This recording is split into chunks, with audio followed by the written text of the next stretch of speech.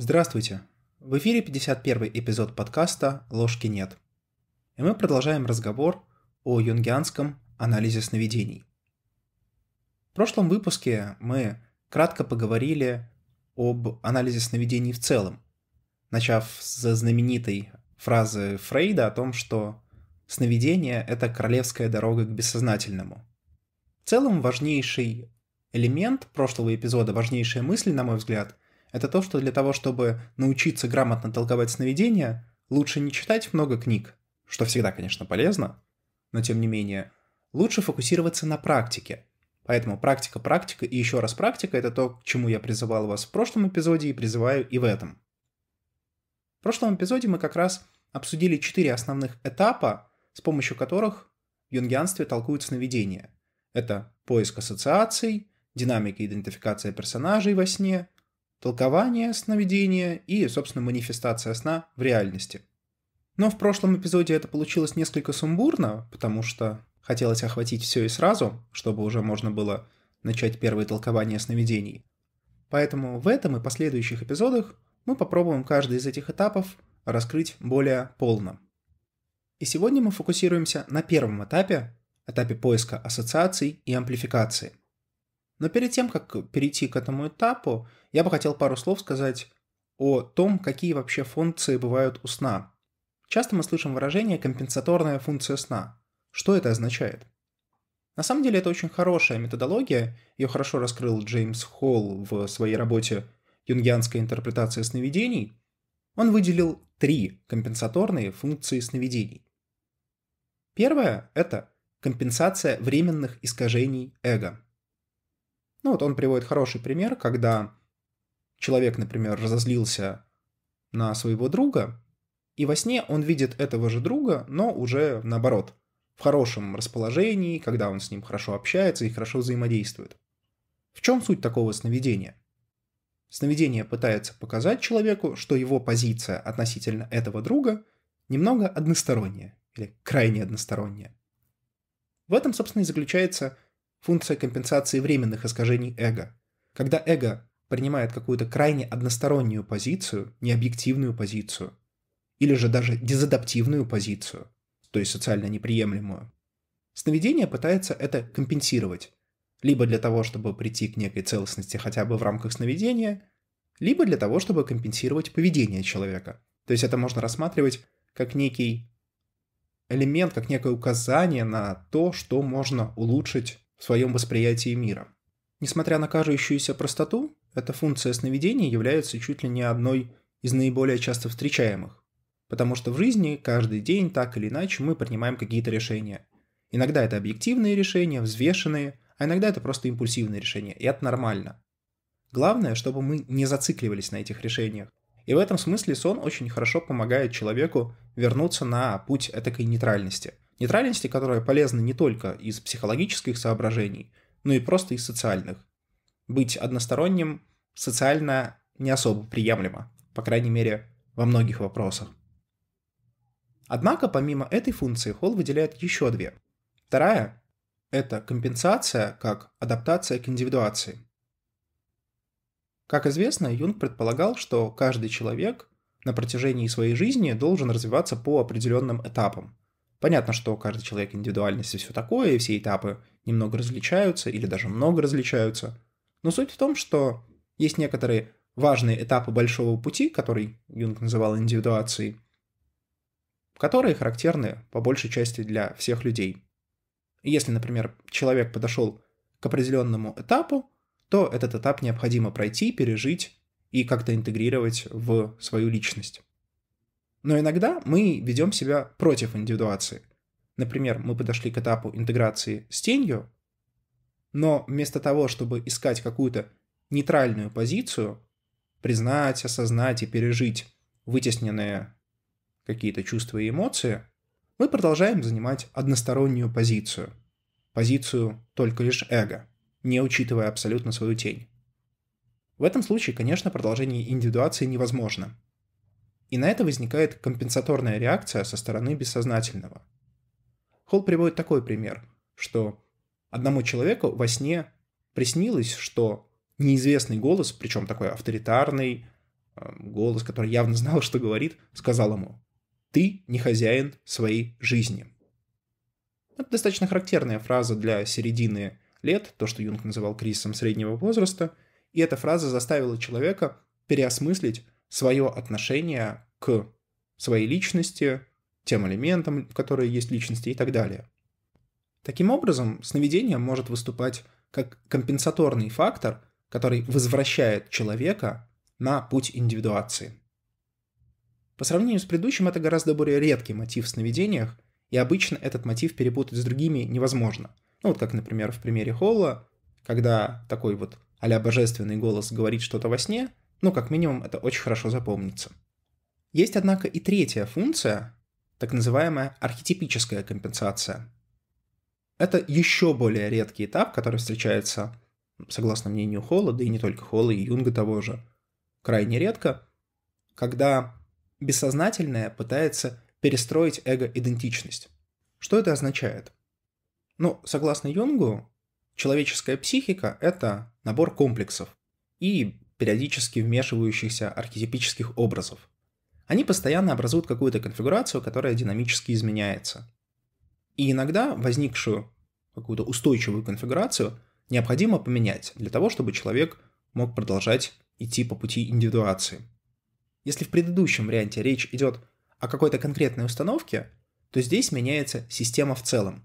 Это то, что можно было бы назвать экзистенциальным кризисом в какой-то мере, потому что перестраивается не просто какая-то одна мысль или одно чувство или одна установка, а перестраивается вся личность. Понятное дело, что такая ситуация встречается редко, и поэтому нужно помнить о том, что у сна есть такая функция, но на практике она редко возникает. Итого, три компенсаторные функции сна. Наиболее часто встречающаяся компенсация временных искажений эго – которая указывает на одностороннюю какую-то позицию эго или дизадаптивную позицию, которая происходит в объективной реальности. Второй вариант, когда человек не движется по пути индивидуации, когда какая-то позиция или установка эго мешает этому, и тогда сновидение пытается этот факт компенсировать. И третий вариант, когда уже архетипические образы и комплексы напрямую перестраиваются для того, чтобы что-то там произошло. Итак, теперь мы можем перейти непосредственно к первому этапу, этапу поиска ассоциаций.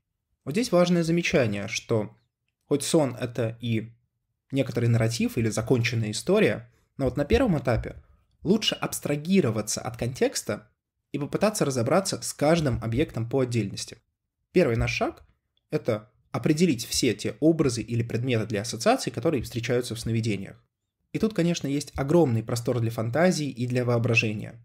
Но прежде всего о чем идет речь? Ну, о предметах. Например, вам может присниться лошадь. Или, не знаю, гора. То есть те предметы, которые появляются в вашем сновидении. Важно учитывать, что эти предметы появляются не в вакууме, а в каком-то месте. Например, та же лошадь может оказаться на ипподроме, что логично. А может и оказаться у вас дома. И это менее логично и требует какого-то истолкования. В общем, помимо того, что за предметы появляются в сновидениях, нужно учитывать, где они появляются, и толковать в том числе и место. Иногда в контексте предмета, иногда и без. Это могут быть характеристики предметов.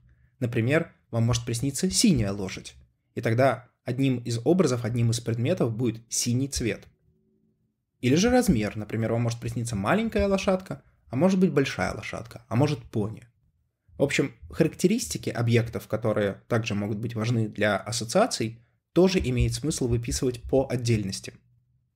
Имеет смысл обратить внимание и на действия. Например, синяя лошадь может пить кофе. И тогда мы должны отдельно амплифицировать, отдельно подобрать ассоциации для самого процесса питья кофе. И, возможно, даже для двух его составляющих. Для питья как такового, как процесса, и кофе как отдельного предмета. Тут какого-то общего правила нет, до какого атома разбивать. Пробуйте разные варианты и пытайтесь понять, что вас цепляет, что кажется логичным, что кажется правильным, а что нет. К балансу между атомарностью и логичностью со временем так или иначе вы придете. Иногда может быть еще более хитрый вариант. Образ того, чего нет. Например, вы едете во сне в машине, но при этом водитель на водительском сидении отсутствует. Соответственно, вам нужно в этом случае подобрать ассоциации для образа отсутствующего водителя. Ведь это крайне важно, исходя из логики сна. Таким образом, самым первым шагом в поиске ассоциаций является просто выписывание всех предметов, всех образов, всего, что есть во сне, включая характеристики и свойства. Просто создаем большой список. После того, как этот список составлен, нам необходимо понять, что конкретный образ означает в контексте сна. Здесь важно учитывать, что вы сами положили этот объект в ваш сон. Даже если вспоминать про самость, про которую мы недавно говорили, что она может создавать сновидения и так далее, и так далее, тем не менее, в онтологическом смысле самость и эго являются частью единой личности.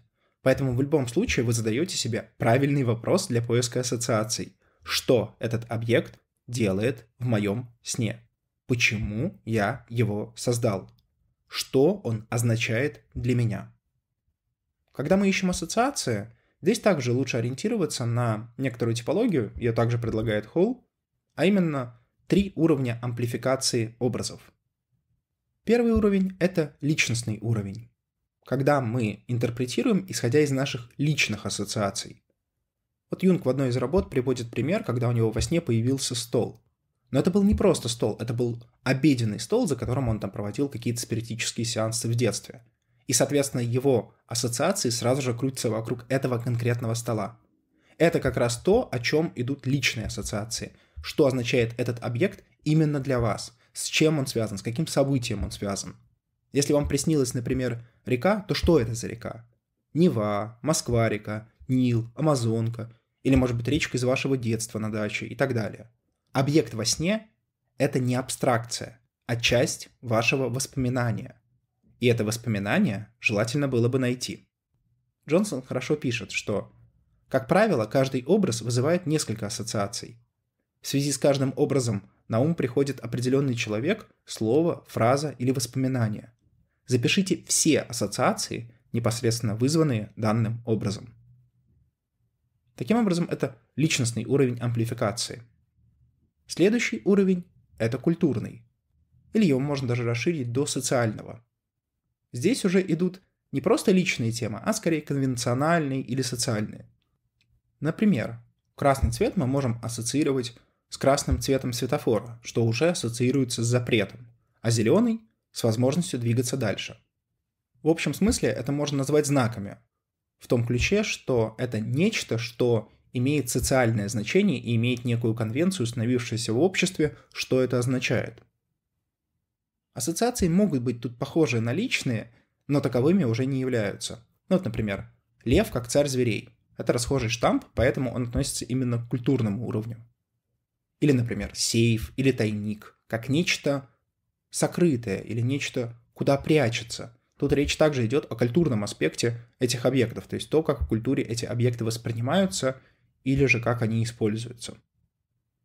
Таким образом, у нас есть личностный уровень ассоциаций, есть культурный уровень ассоциаций, и есть третий уровень – это архетипический.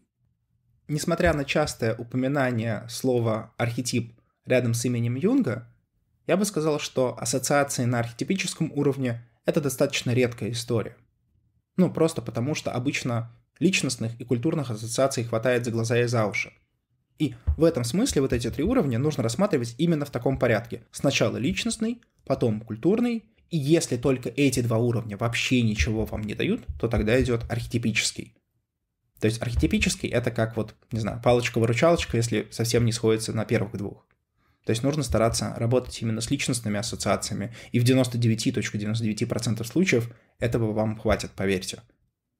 Но может быть и архетипический уровень, который характеризуется тем, что он вызывает ощущение нуминозности, ощущение божественности, сильное эмоциональное вовлечение, плюс возникновение символа, который является универсальным, кросс-культурным, присущим для человека в целом. Подчеркну еще раз, что не нужно впадать в так называемый архетипический редукционизм, когда даже в самом простом сновидении находятся какие-то элементы архетипических образов. Честно, в любом сне их можно найти. Это не так сложно, потому что символов действительно огромное количество, и образов тоже. Но этого делать не стоит. потому что в 99.99% ,99 случаев хватит личностного уровня ассоциаций. Просто попробуйте интерпретировать сны, исходя из такой предпосылки, и вы увидите, как оно все хорошо складывается.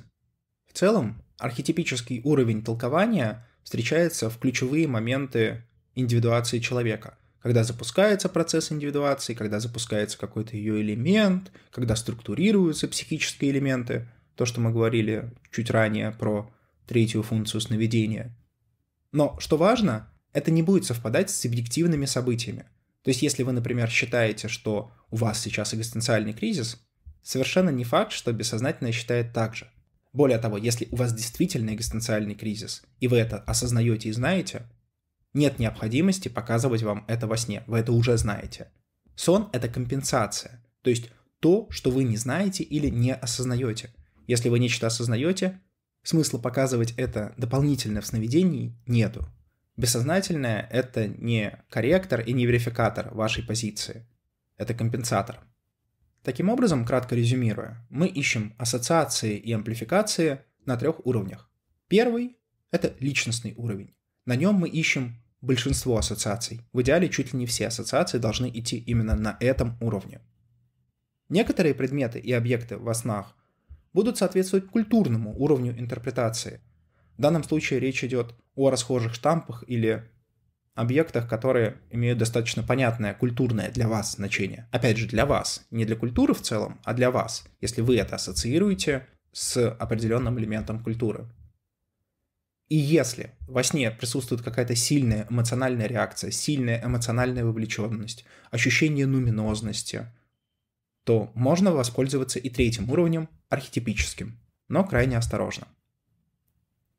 Еще раз подчеркну, что на первом этапе, на этапе поиска ассоциаций, мы не пытаемся заниматься толкованием сновидений. Мы не занимаемся интерпретацией. Мы просто собираем данные о предметах и образах сновидений.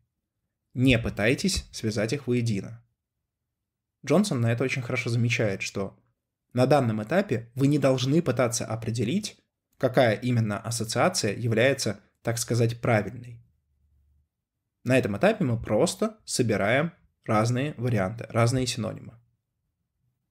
И еще раз подчеркну то, что отмечал еще в прошлом эпизоде, что мы ищем только прямые ассоциации.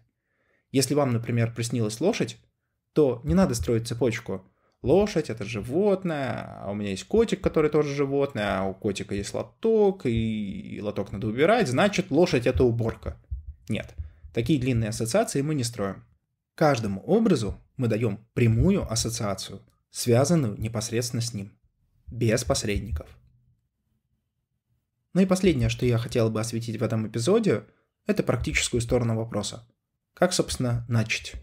Да очень просто. Берете бумажку, берете ручку, берете ваше сновидение и просто сначала выписываете список всех предметов. Просто вот сверху вниз. Затем начинаете шаг за шагом составлять ассоциации к каждому предмету или образу. Если вдруг в какой-то момент вы начинаете сомневаться, что не сможете избежать ошибки контекста, то есть пытаетесь интерпретировать историю, а не отдельные предметы, просто выбирайте любое слово для ассоциаций случайным образом. То есть, допустим, первое, десятое, третье, восьмое и так далее. Не подряд. Это может немножко помочь. В самом конце будет полезно пройтись еще раз, но в обратном порядке. Например, там 10, 9, 8, 7, 6. То есть не в прямом, а в обратном. И, скорее всего, вы заметите, что какие-то ассоциации вы пропустили и хочется чего-то добавить. В этот момент, конечно же, нужно добавлять, потому что вот процесс толкования потихоньку начинается, появляются дополнительные ассоциации, что-то там крутится, вертится, и новая информация добавляется. Это полезно. Дополнительно еще было бы полезно в отдельный файл или в отдельный блокнот выписывать наиболее значимые, субъективно, естественно, или же просто даже все предметы, чтобы иметь статистику, какие предметы в каких снах появляются, чтобы в дальнейшем это можно было уже рассматривать не в контексте одного сновидения, а цепочки. Это, так сказать, вишенка на торте, про нее можно чуть попозже вспомнить. Тут же может сразу возникнуть вопрос – а нельзя ли интерпретировать какие-то объекты во сне, исходя из предыдущих снов, исходя из более ранних каких-то ассоциаций? В целом, да, так можно делать, но это скорее уже относится к третьему этапу, этапу толкования сновидений. На этапе ассоциаций лучше исходить из принципа, что каждый объект в каждом сне уникален. Так вы не допустите особых ошибок. На этом мы заканчиваем этот эпизод, а в следующий раз мы поговорим про второй этап толкования сновидений. С вами был подкаст «Ложки нет». До новых встреч!